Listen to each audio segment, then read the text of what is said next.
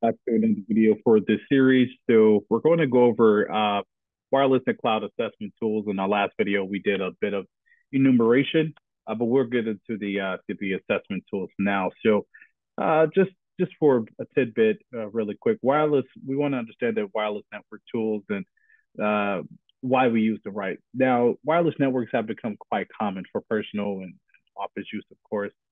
Uh, but the security of wireless networks just remains one of the one of the top issues, right? So we can actually use various tools to uh, to assess the security of a network, specifically in this case, wireless network. Uh, we can use actually various tools to try to crack the passwords from wireless networks.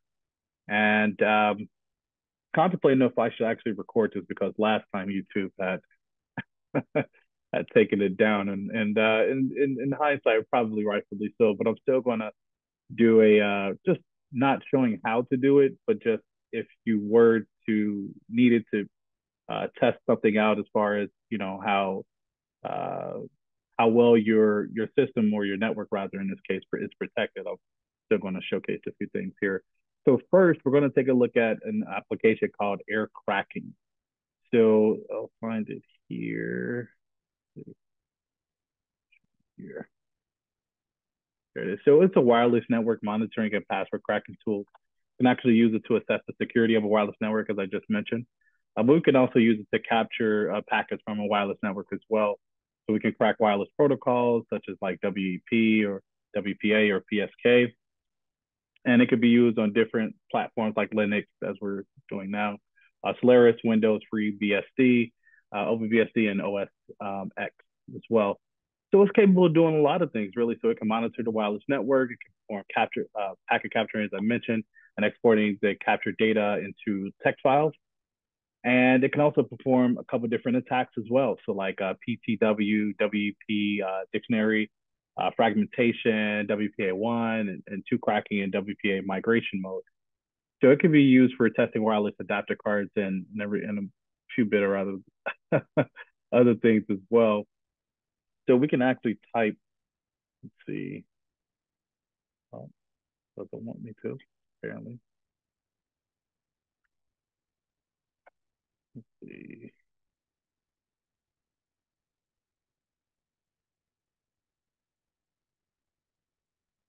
It, it, this just allows us to verify if the wireless adapter on our system uh, supports the monitor mode. Looks like it doesn't want me to type here. There it is. Okay. Oh, unexpected operator. Um, this means that the wireless adapter on our system just doesn't support the monitor mode. Unfortunately and unfortunately, right?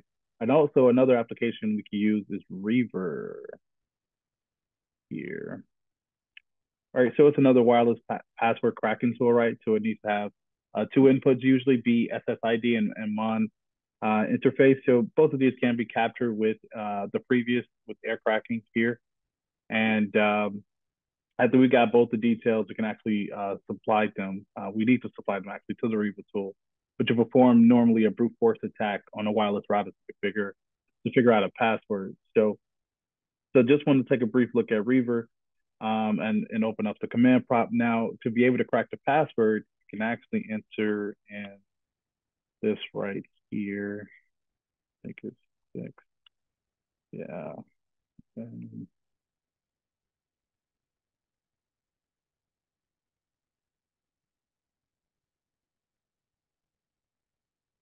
but that's fine. Uh, it just the command, of course, is not going to work in a practice lab device. Uh, so, but if we were to try to crack a password, that would be the command that we would use. It's just an example. Um, now in the command, just to at least break it down, right? So the I, it just, it switch, it defines the, uh, the, uh, the mono or the mon zero, right? Actually, I think I did it wrong. Cause it's supposed to be this here. Yeah. Yeah, I'd still get the same, same result. But nonetheless, so the I switch, it just defines the, uh, this here, the mon zero, which represents the monitor interface, right? Now the C switch, it just represents the channel being used, which is um, here. And then the B switch, of course, represents the BSSID, which I mean, which I mentioned is required for it to be in use, right? So there may be times where we may need to obtain uh, hashes or we may capture hashes instead of passwords. Now, we need to find out, of course, uh, the passwords from these hashes. So this can't be done without the, using a tool that can crack hashes. Um, and you can actually use old Hashcat, uh, which is one such tool. So most of the time, a hash cracker, uh, they'll use a CPU, they'll use CPU power normally, which slows down the hash cracking process, unfortunately, and also the system itself. And OCL Hashcat, um, it'll just uh, use the GPU actually instead the CPU because when a GPU is used, it can actually perform a task at a high speed because it has more cores than than a CPU. So GPU is normally has the capability of running several tasks in, in parallel without impacting the system performance. So but anyway, all OCL Hashcat is, is, is now been uh, de deprecated really and no longer being updated. So it's now merged with another tool named just regular old Hashcat. It's released under the name Hashcat, which has a couple different uh, key features as well. It's also an open source tool under the MIT license. So it can support multiple uh, uh, platforms, OSs like Linux, Windows, and Mac OS, right? So it can crack multiple hashes simultaneously as well. But actually, um, I believe I have Hashcat on here. Uh, let's see. Yep, there it is. Nearly forgot here. So we have another terminal here. So it can perform a couple different types of attacks, right? So as you can see, brute force, uh, also like hybrid dictionary uh, and mask and, and hybrid mask and dictionary as far as that combination uh, and combination also is great. Uh, hash crack has cracking uh, various you know platforms. Um, I'm sorry, algorithms uh, like um, SHA1, MD5, MD4, things of that nature. Other than this, it can crack passwords pretty much for many different applications, which use different types of algorithms for hashing passwords. So, uh, but yeah, those are the different uh, assessment tools that you can use to you know use any uh, sort of penetration testing techniques, right? So let's also talk about cloud models, right? So um, just private, public, hybrid, and community cloud. Just a, a brief, brief overview uh, that I, you know, wrote some notes on as far as uh, what they are. And it's going to be fairly quickly. So a private cloud, just infrastructure, right? That's implemented by a company using its own hardware and a specific computer. Uh, hardware needs to be purchased, implemented, and maintained by the company. And the computer hardware there needs to be procured by a company will typically consist of several components, including servers, uh, switches, routers, and this may have a massive uh, financial impact on the company. And it's just uh, used to create a pool of computer resources which can then be accessed and utilized by the company.